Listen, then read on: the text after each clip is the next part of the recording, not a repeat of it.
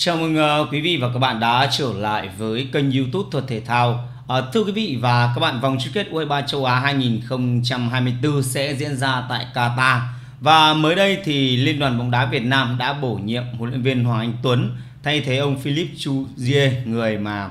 uh, vừa chia tay bóng đá Việt Nam sau cái chuỗi thành tích bết bát trong thời gian qua khi mà dẫn dắt đội tuyển Việt Nam. Uh, huấn luyện viên Hoàng Anh Tuấn sẽ có cái nhiệm vụ là giúp cho U23 Việt Nam à, giành cái kết quả thuận lợi tại vòng chung kết U23 châu Á 2024 nơi mà chúng ta nằm cùng bảng với Uzbekistan, với Kuwait và với Malaysia. Thì trong ngày hôm nay, Liên đoàn đá Việt Nam đã công bố cái danh sách à, danh sách mà những cái cầu thủ để huấn luyện viên à, Hoàng Anh Tuấn triệu tập để chuẩn bị cho vòng chung kết U23 à, châu Á ừ, 2024 thì trong cái danh sách này ừ, có những cái tên có thể nói rằng là à, vắng mặt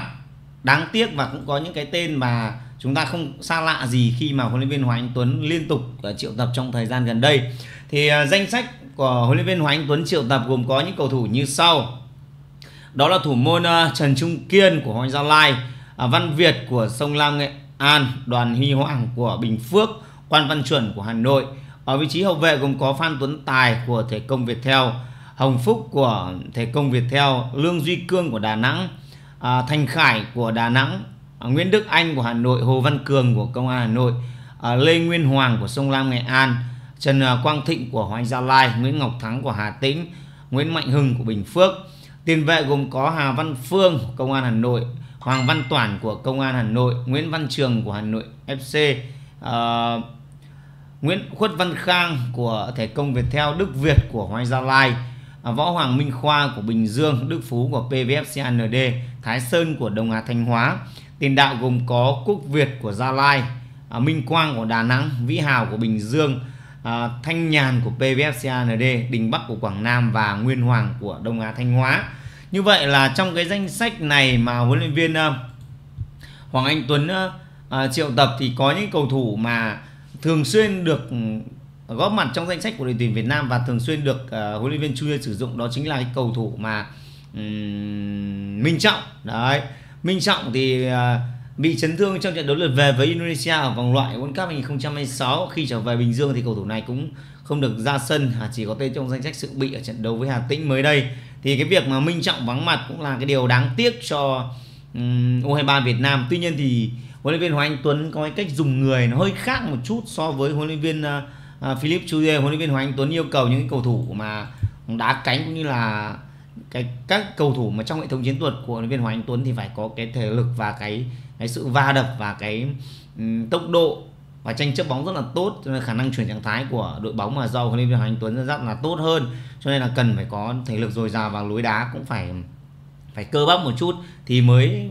có cơ hội này được huấn luyện viên Hoàng Anh Tuấn lựa chọn. Thì ngoài Minh Trọng còn những cầu thủ khác mà được huấn luyện viên à, mà bị huấn luyện viên Hoàng Anh Tuấn không gọi đó là trường hợp của à, Văn Tùng với Giáp Tuấn Dương là những cầu thủ mà được huấn luyện viên Chu hay hay gọi trong cái đợt tập trung đợt trước đây. À, và một cái số những cái tên đáng chú ý khác không được ừ, có góp mặt trong cái danh sách lần này đó là à, Đinh Xuân Tiến của Sông Lam Nghệ An này Vũ Tiến Long của Hà Nội FC Lê Văn Đô Huỳnh Công Đến của PVFCL này D. Đó đó là những cái cầu thủ mà ừ, không được gọi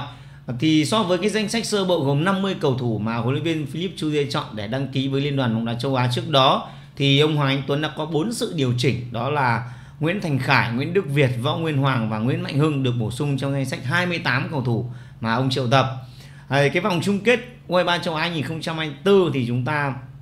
sẽ nằm cùng bảng với Kuwait, Malaysia và Uzbekistan à, đây là cái bảng đấu mà Uzbekistan chúng ta thấy rằng là ao trình so với những cái đối thủ còn lại rồi cho nên là hai trận đấu với Kuwait và Malaysia là hai trận đấu mà à, huấn luyện viên Hoàng Anh Tuấn và các học trò mình sẽ phải cố gắng rất là nhiều để mà giành được chiến thắng. Từ từ đó mới có cơ hội để mà um, giành cái tấm vé đi tiếp đúng không ạ? Thì uh,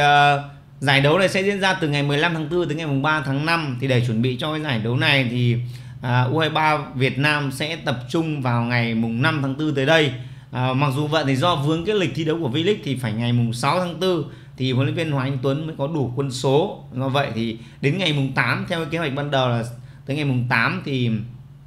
U23 Việt Nam sẽ lên đường sang Qatar. Thì tại Qatar thì U23 Việt Nam sẽ có một trận đấu giao hữu với Jordan vào ngày mùng 10 tháng 4 thì để mà chuẩn bị cho cái cái cái vòng chung kết này, thì trong thời gian vừa qua thì liên đoàn bóng đá Việt Nam đã có cái sự chuẩn bị rất chu đáo cho U23 Việt Nam. Chúng ta biết rằng ở cái đợt tập trung vừa rồi thì huấn luyện viên ờ, Philip Chu cũng đã triệu tập cầu thủ U23 song song với đội tuyển quốc gia. Thì U23 của chúng ta đã có hai cái trận đấu giao hữu với Tajikistan U23 Tajikistan. Chúng ta thắng 1-0 ở lượt đi và hòa trận đấu lượt về. Thì hai trận đấu bất bại. Tuy nhiên thì cái danh sách à, ở đợt tập trung lần này của huấn luyện viên Hoàng Anh Tuấn, nó sẽ có những sự khác biệt bởi vì huấn luyện viên Hoàng Anh Tuấn là người, như Thoại thanh đã nói, có cái cách dùng người và cái lối chơi mà huấn luyện viên Hoàng Anh Tuấn áp dụng cho U23 Việt Nam. Nó khác so với huấn luyện viên Chu Dê lối chơi của huấn luyện viên Hoàng Anh Tuấn nó mang tính chất thực dụng hơn và ừ, nó trực diện hơn rất là nhiều. Không ờ, quan tâm lắm tới cái việc kiểm soát bóng nhiều. Tất nhiên vẫn có thể tấn công được, nhưng huấn luyện viên Hoàng Anh Tuấn cho U23 Việt Nam và các mức độ mà ông dẫn dắt ấy, thì đá theo cái kiểu là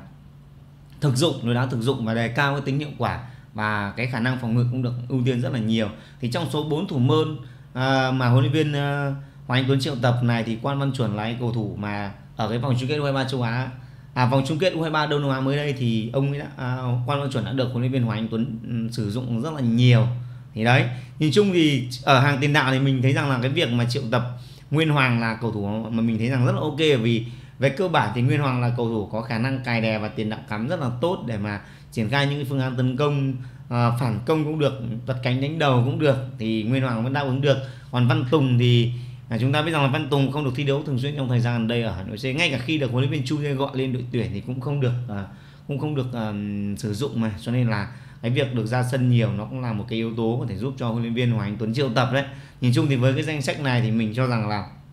huấn luyện viên Hoàng Anh Tuấn đã triệu tập những cái cái cầu thủ mà cũng đã phù hợp với cái cái triết lý bóng đá của ông và à, với cá nhân thể thao đánh giá với đội hình này thì huấn luyện viên Hoàng Anh Tuấn hoàn toàn có thể bày binh bố trận để mà giúp cho U23 Việt Nam có được kết quả tốt trước Coes cũng như là Malaysia. Thật sự đây là hai đối thủ mà U23 Việt Nam hoàn toàn có thể giành chiến thắng được. Và nếu mà biết nhất chúng ta có thể giành được 4 điểm ở, ở hai trận đấu này thì cái cơ hội để chúng ta giành vé tiếp nó cực kỳ sáng bởi vì ở bảng đấu này ờ, mình thì mình dự đoán là Uzbekistan sẽ giành trọn vẹn ừ, 9 điểm cho nên là